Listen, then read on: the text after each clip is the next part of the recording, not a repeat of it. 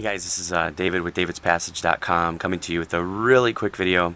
Um, I've been getting several questions from people at various points in uh, my outdoors stuff um, regarding how I mount my camera to the deck of my kayak and so this video is just going to be a quick tutorial on how I do it. Um, there may be some other ways you can do it and in fact I'm, I'm already looking at ways to improve what I do but this is just a simple way for you to see um, how you might be able to mount a uh, tripod onto your the deck of your kayak if you want to take your camera or that sort of thing.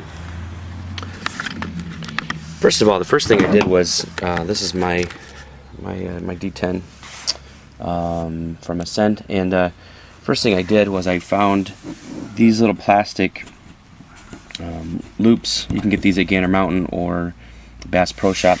I also purchased some aluminum rivets. I have a riveting tool. Um, just drilled the hole size in there appropriately and fastened this eyelet onto the boat using a riveting tool. The reason why aluminum is important and the reason why I like these plastic ones is because they don't rust. So you could use screws, but just make sure you're in a kayak and make sure you're using stainless steel screws if you're going to do that. The second thing I did was I actually went to Walmart and I found this this really uh, small yet sturdy tripod.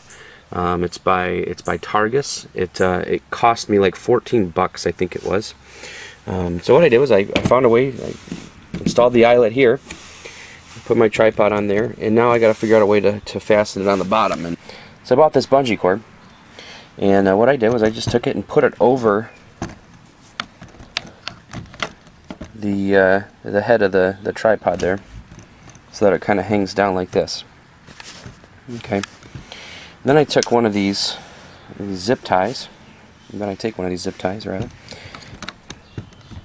And pulling the pulling the bungee cord down um, I then take this and put it around the tripod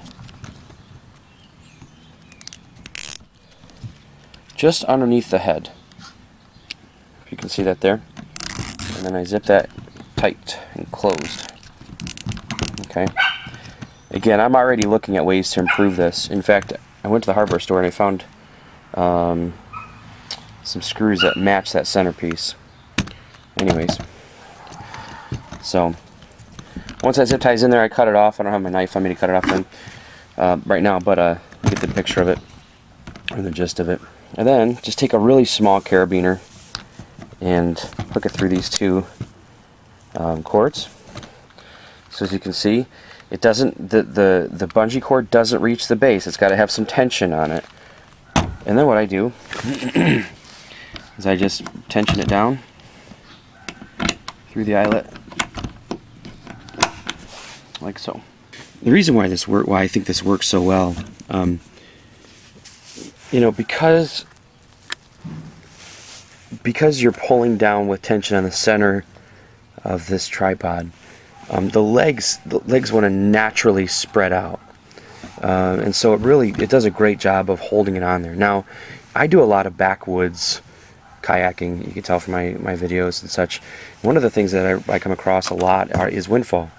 And so what's really handy about this is, is as I'm kayaking, it's really easy to just um, to take that off like that and take the whole camera assembly off and get it under my under my deck where it's safe. Um, you, you, know, you can configure it like this. Um, I've also configured it like this. But uh, you know that's that's how I do it on this D10. Another way I've done it too, even with the same setup with the carabiner and this uh, this bungee setup, is I I was taking a group of students on the Ausable River kayaking last year, and we rented kayaks from a livery. And one of the things they had was actually these, uh, you know, cross bungee cords. And if you have those on your deck too, you do the same thing. Just take the take the carabiner down and clip it through the whole cross, the entire cross section